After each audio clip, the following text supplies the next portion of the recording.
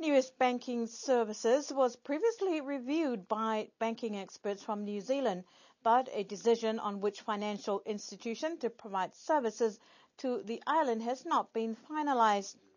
According to Honourable Premier Toke Talangi, there must be careful scrutiny of what is needed to include in the banking service for Niue. At this time, we're still uh, carrying out the investigations. Of the two consultants who have been working on us with this have been working, will be here over the, over the next week, and we'll be discussing with them the, um, the progress to date with respect to the banks that are interested, the type of conditions that they are looking at, the type of conditions that we are looking at, and seeing whether we can match and correlate them to ensure that what they want and what we want are uh, amenable to both of us, and we can achieve both our objectives.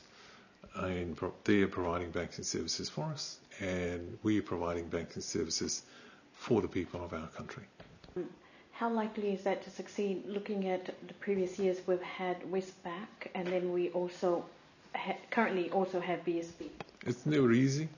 The fact that Westpac was here, the post office before that, um, BSP now, uh, indicates the fact that for small countries like Niue, um, Nauru, they don't have a bank as I understand it.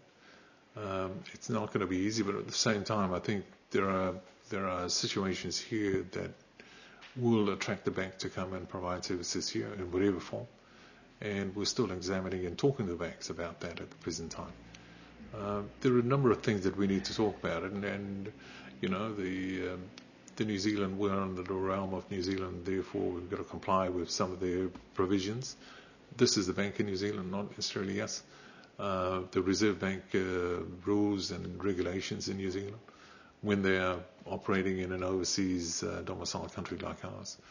Um, there are other things that we need to ensure that we comply with internationally, like the tax evasion um, legislation uh, presentations that we're making and the legal officers in Paris this week making the presentation, or next week making the presentation on our behalf, taking us from the grey list to the white list and so on.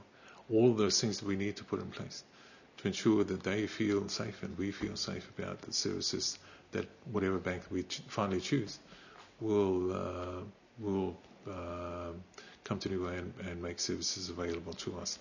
Um, there are a number of things that we have to consider. It, if it was easy, it would have been done last year, but it isn't, and therefore we're, we're taking this very slowly, very carefully, uh, to ensure that what we agree to in the end will be for the benefit of the bank, as well as the benefit of the people and, and government of Niue. Premier Talangi also said the government has not yet decided on the assistance it will give the new bank, if any. It depends. Uh, there are certain investments that we have the trust fund that this bank may necessarily want as part of the uh, the arrangements, and we're happy to consider the proposals from them with regard to that. Um, there are other the the, the government uh, accounts are being held at Westpac at the present moment. Those could be transferred through.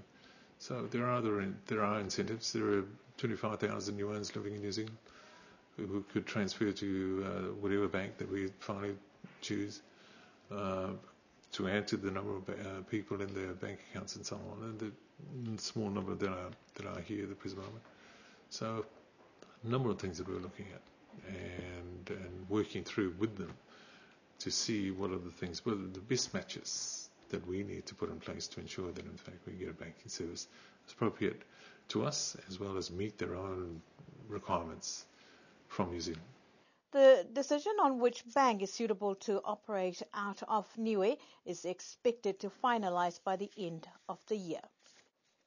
As of next week, New Zealand immigration visa services previously available in Niue will no longer be accessible at the New Zealand High Commission's office in Te. This was the advisory received yesterday. As New Zealand makes changes to its domestic affairs, it is also de-establishing some of its international services. The public are also advised to contact the office for clarification if necessary. Otherwise, all information pertaining to the new changes and applications can be accessed at www.immigration.govt.nz.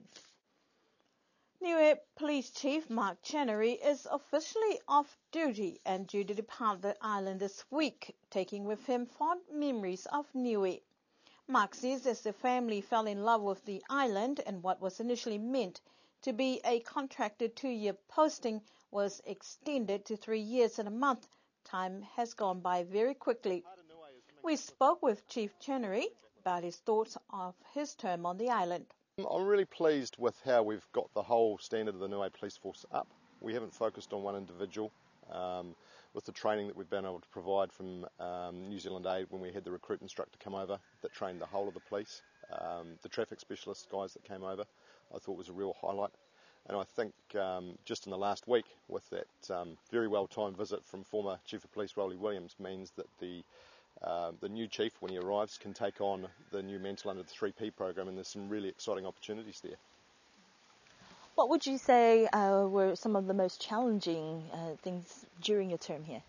I think it's always challenging for a, for an expat police officer, especially when um, you don't speak the local language. Um, I probably needed to take Ollie along, my youngest, um, to a lot of things because he picked it up really quickly, whereas um, I tended to pick up more body language. Um, it's always hard when you're in an isolated place and you don't have the resources that we're used to, or that certainly that I was used to back in New Zealand.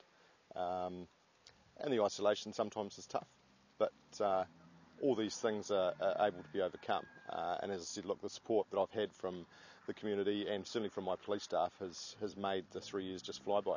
Mr. Chenery says that they have built lifelong friendships that will always be a draw card for the family to return, and the time in Niue has been a great learning opportunity.